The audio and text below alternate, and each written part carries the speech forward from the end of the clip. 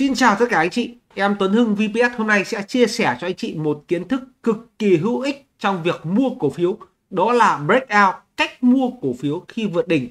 Nếu như anh chị thường xuyên theo dõi kênh chứng khoán Tuấn Hưng hay ở trong room cộng đồng, room khách hàng Thì đều biết rằng em Hưng khá là thiên hướng đánh an toàn với những cổ phiếu mua tại nền ở gần M20 và mua giải.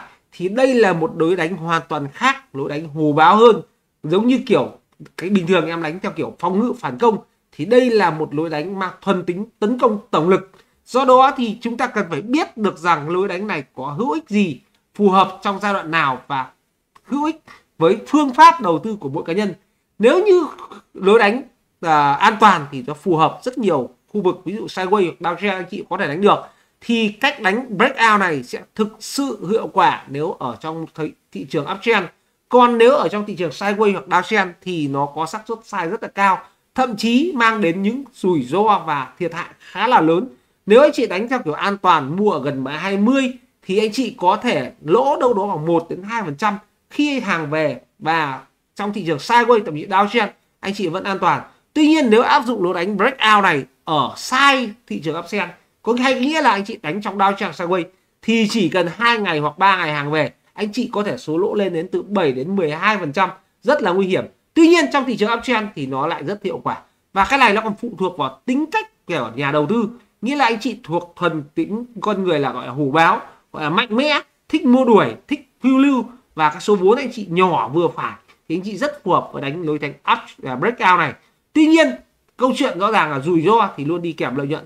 Khi anh chị mong muốn một lợi nhuận nhanh với thời gian ngắn và xác suất được xác nhận bởi một khối lượng lớn, một cú break lên thì anh chị phải đi kèm với rủi ro, đó là một khoản lỗ lớn ngay khi hàng về, nếu đó là một cú break fraud, có nghĩa là break xì tệ thì anh chị hãy cùng nhau đi vào phân tích.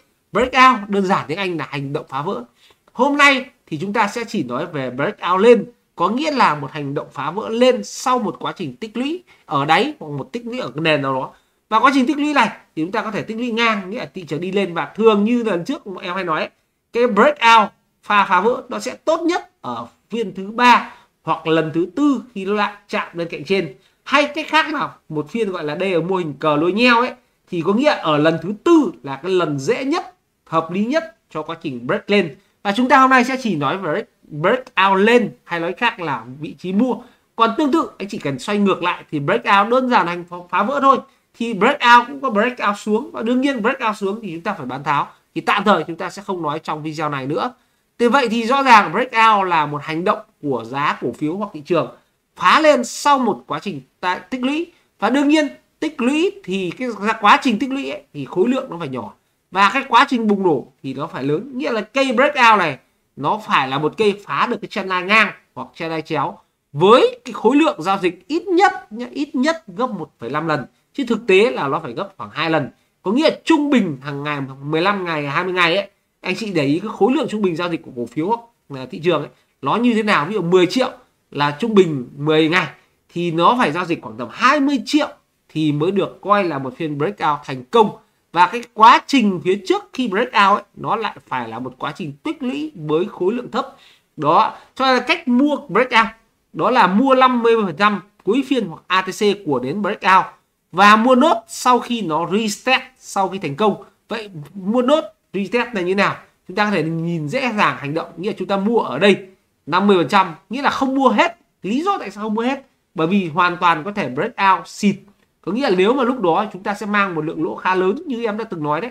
Nếu anh chị mua ở nền bình thường, chúng ta chỉ lỗ lãi khoảng một, hai, ba phần trăm rất an toàn. Nhưng nếu anh chị áp dụng phương pháp mua break out này, thì khi hàng về, nếu trường hợp break out xịt, có nghĩa là sai, anh chị sẽ mang số lỗ rất lớn từ 6 cho đến 10 phần trăm, chứ không đơn thuần là một đến hai phần trăm do đó nếu anh chị mua tất cả toàn bộ ở đây 100% thì khi nếu mà chẳng may trường hợp xịt, anh chị sẽ không phải đứng kịp và không cắt lỗ. Đó là lý do tại sao chúng ta phải mua 50% ở đây. Và nếu thực sự nó reset thành công, reset thành công bằng cách nào? Đó là tăng thì phải khối lượng thật mạnh, nhưng giảm thì test lại phải khối lượng phải thấp. Thì chúng ta tiếp tục tiến hành mua nốt 50% đây và quá trình tăng lên. Đấy đấy là cách mua breakout nhé nhắc lại một lần nữa, anh chị đừng mua Odin trong một phiên nhé đấy sai còn có đường mà sửa. Đấy chúng ta dễ dàng và dễ hiểu thôi đúng không? Và chúng ta đi vào các ví dụ và để dễ hiểu nhất.